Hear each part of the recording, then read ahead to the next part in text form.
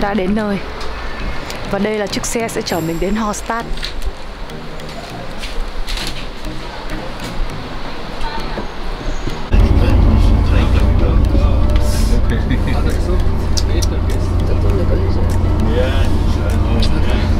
Một khung cảnh bình yên đến lạ. Đẹp Mọi người nên đến đây thử. Đi châu Âu không phải là để đến mỗi uh, mấy cái thành phố lớn kia mà có những cái chỗ như thế này sẽ cảm thấy hoàn toàn khác biệt. Khi là những cái nơi đầy tòa nhà cao ốc rồi cổ kính rồi tráng lệ hoành tráng thì ở đây chỉ là những cái thứ bình dị nhất đều làm cho mình cảm thấy thoải mái.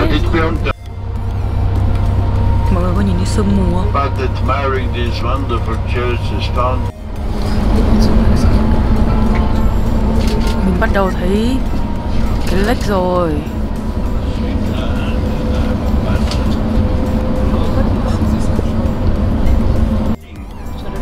big huntings, you know, that was the privilege of the aristocratic world. And immediately to the left, we will see it, it will appear behind the trees. Use a motorboat.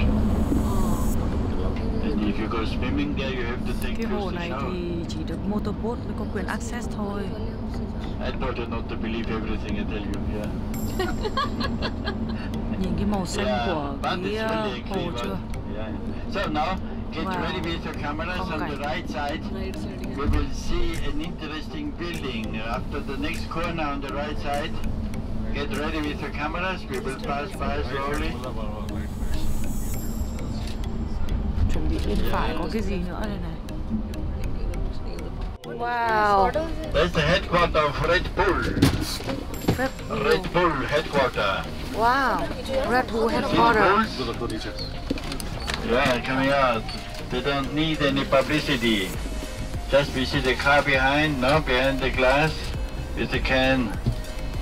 That's the only publicity to recognize it. It's Công ty the Red Bull đấy. About 300 Headquarter.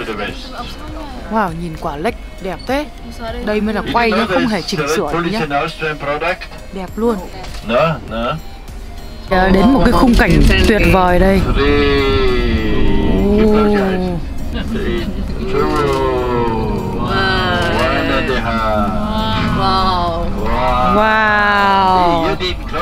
Huh? yeah, to. Có từ gì để diễn tả được khung cảnh này không? That's the lake of St. Wolfgang. The main village, St. Wolfgang, is near the end of the lake on the left side, the White Tower. Village, it's a nice place, no? Wow Một khung cảnh hùng vĩ luôn Không như ban của Alberta được Nhưng mà Nó là một khung cảnh hoàn toàn khác from Bad Eschus, 20 kilometers to Hallstatt. Từ đây đến Hallstatt chỉ còn tầm 20 km nữa thôi.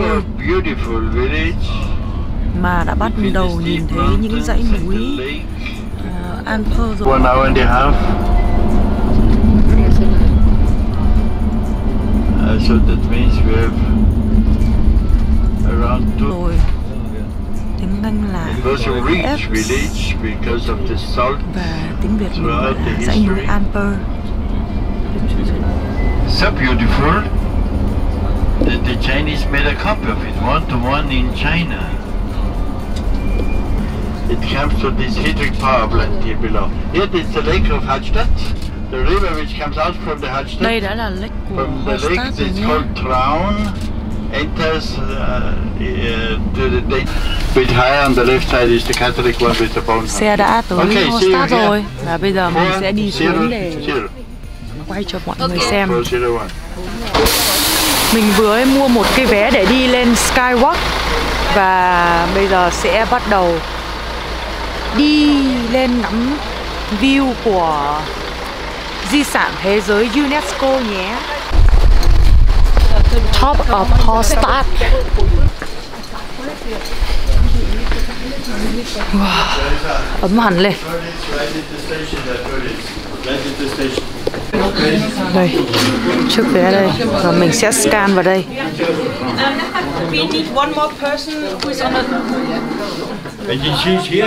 Vào một cái khoang như này đây. Tí nữa khi mình đi thì mình sẽ quay hết cho mọi người xem wow.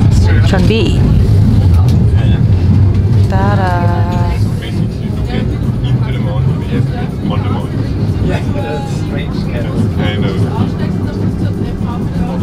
tí nữa đứng lên trên cao thì mọi người sẽ ngắm được ngọn núi. Alper nhé. Ao. Thì cái dãy núi Alper là những dãy núi lớn nhất và cũng là dài nhất ở châu Âu. Thì cái dãy núi này lại trải qua tận 8 quốc gia từ Tây sang Đông. Và trong đó sẽ trải qua những nước như là Pháp này, Thụy Sĩ này, Ý, Monaco, ờ, uh, Liechtenstein, rồi nước Áo là cái nước mà mình đang đi đây, Đức và một nước nữa là Slovak Slovenia thì cái dãy núi này ấy được hành thịnh từ ờ, tận 10 triệu năm trước cơ. Đẹp chưa? Thì trong cái dãy núi Alper này thì dãy núi Mont Blanc là cái hãng mà có mấy cái bút đắt tiền ấy. Đấy cái hãng đấy là cái hãng tên của ngọn núi cao nhất trong cái dãy núi Alper đấy. Mont Blanc ừ, Mont Blanc vừa leo thang cho nên là không thể nào quay được. Nhưng mà đây là khung cảnh mà mình vừa lên được đến trên đỉnh của Hallstatt đây.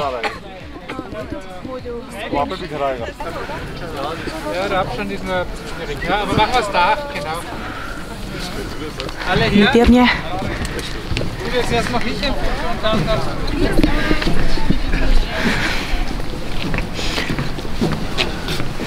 Kìa đứng ra đỉnh top kia kìa.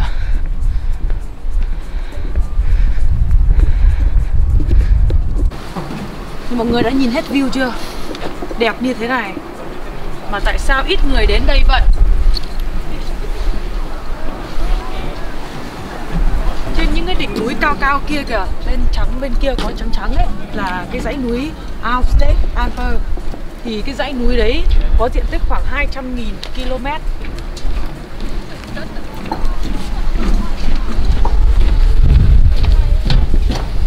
Ví dụ, 200.000 km mà kéo dài là 750 km từ Tây sang Đông Kéo dài qua bao nhiêu đất nước? 8 đất nước Thấy chưa? Đi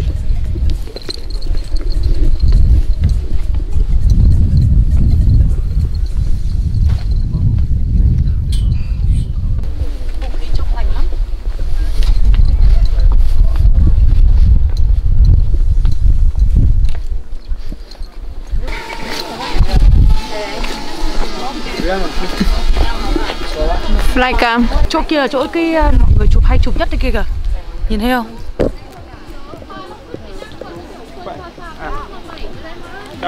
Đấy Cái làng nó nhỏ nhỏ như thế thôi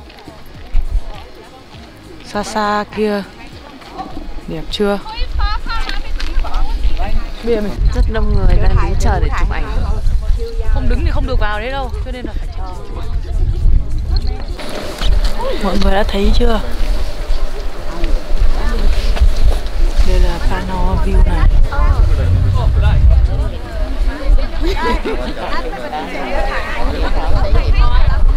Tương tự.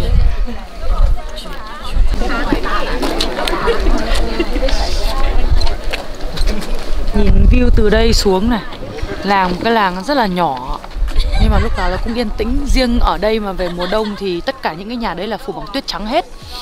Trông cực kỳ lãng mạn. Còn mùa hè mà đến lúc nắng nó chiếu xuống ấy.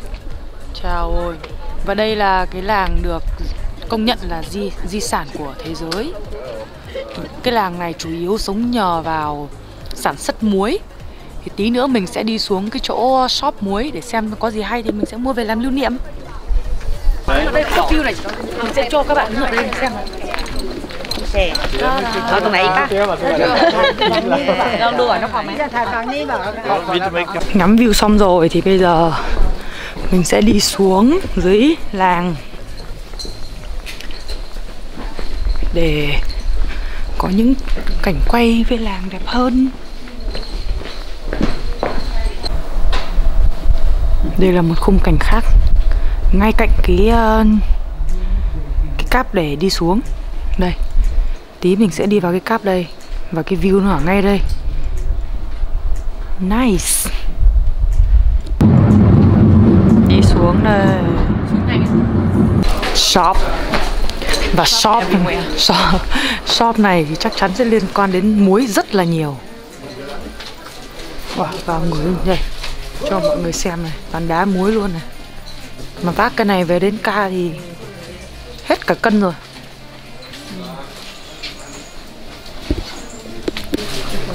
cả cái làng chỉ liên quan đến muối thôi. Sọt hết, đủ các loại sọt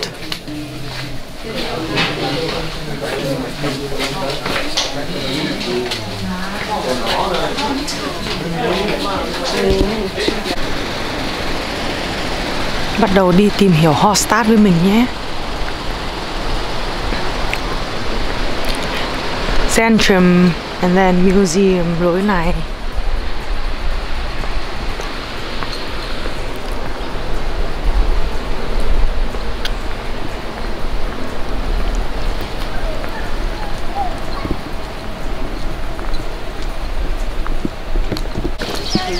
Wow, tiếng chim hót líu lo líu lo luôn. Cái ờ, làng Hallstatt này thì nằm phía tây của cái hồ Hallstatter Sea Thì bao quanh cái làng là toàn những cái dãy núi trùng trùng điệp điệp. Như Huyền đã nói Cái lúc mà ở bên trên ấy Thì Hallstatt là sản chủ yếu là sản xuất muối. Thì vì bởi vì đây là cái lịch sử ở đây kéo dài 5.000 năm trước thì đây được coi là cái mỏ muối đầu tiên trên thế giới. Nhưng mà tuy như vậy, có cái nền công nghiệp như vậy, nhưng mà cái làng này vẫn giữ được một cái cái phong thái rất là bình yên như thế này. Mỗi một năm là có hơn 800.000 người đến đây để du lịch. Bao nhiêu người du lịch đến đây để chụp ảnh như này. Đây rồi view đẹp kia rồi. Ô tô nó vừa chạy vào đây. Rồi oh, nghe được mấy cô người Việt luôn này. chắc là cũng du lịch từ Việt Nam sang.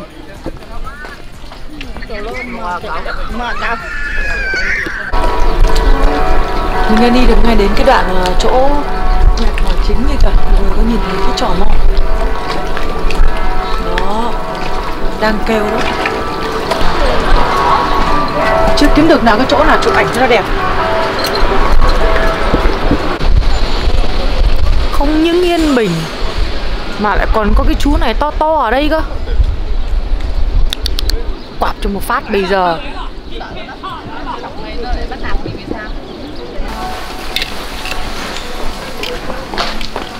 Oh. xinh chưa?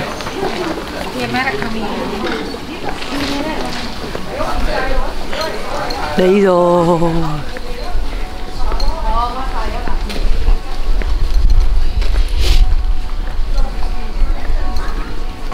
Xem cái nhà này hay không này. Cả cái cây nó ôm sát vào cái nhà luôn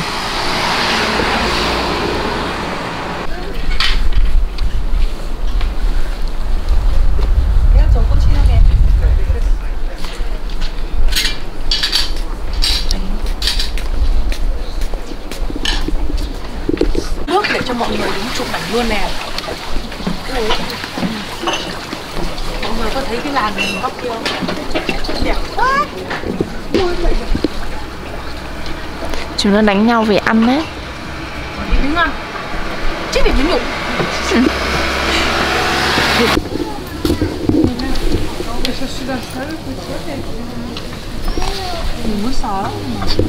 Sợ hả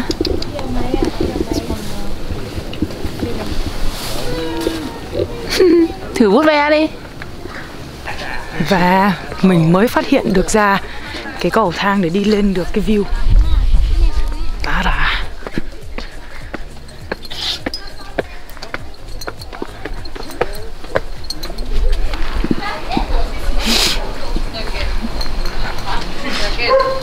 Don't Austrian specialties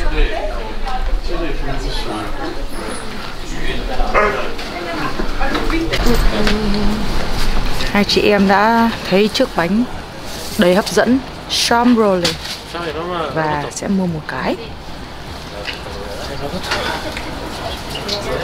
250. Thank you. Ta-da. Hallo, bitte. Two pretzels. Ja. Very good. The valley here to the left goes a valley it ends with a lake. Ôi giời ơi, mấy- Sau khi lượn ờ, một vòng Search buổi đêm thì tự nhiên bắt được cái quả nhà hàng tiệm Việt tên là Xin Chào và mình đang gọi một bát bún bò Huế nhưng mà dùng nước phở hấp dẫn không? Är det för.